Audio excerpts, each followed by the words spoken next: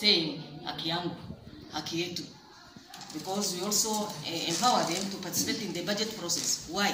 In the budget process, when they are there, they can push for issues affecting women. So, I, as my organization, I have a Mama na Bajeti program supported by Forum Syd, which supports women to participate in the budget process and uh, on social accountability.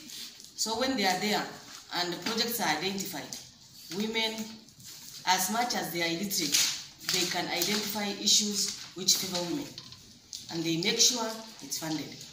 But one of the challenges, uh, the county government, sorry to say, uh, after people sit down and identify the projects, most of the projects are not done.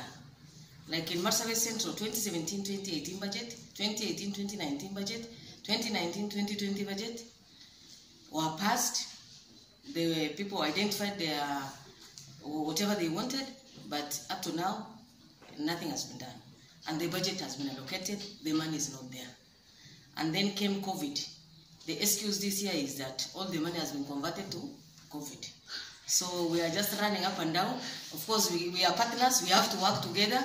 Whether they use the money properly or not, we have to be there. And we have to oversight and uh, do social accountability. And we found it is right to sit with those development partners and tell them people are saying this and that.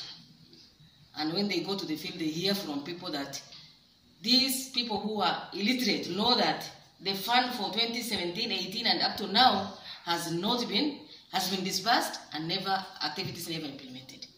So I think we are there as we of course we are few.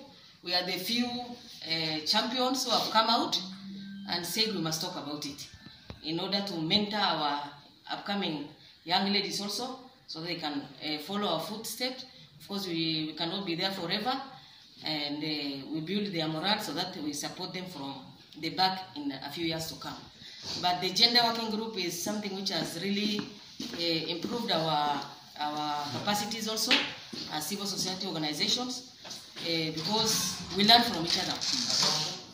I do my things, you do your things, but we do it in different ways. So it gives us the opportunity to learn from one another, to strengthen one another, to give ideas, and uh, that has now led us to visiting the different departments in persons. We have agreed to visit the different departments in persons uh, to request them uh, for support in the development of the policy. As my brother has put it, working without a policy is like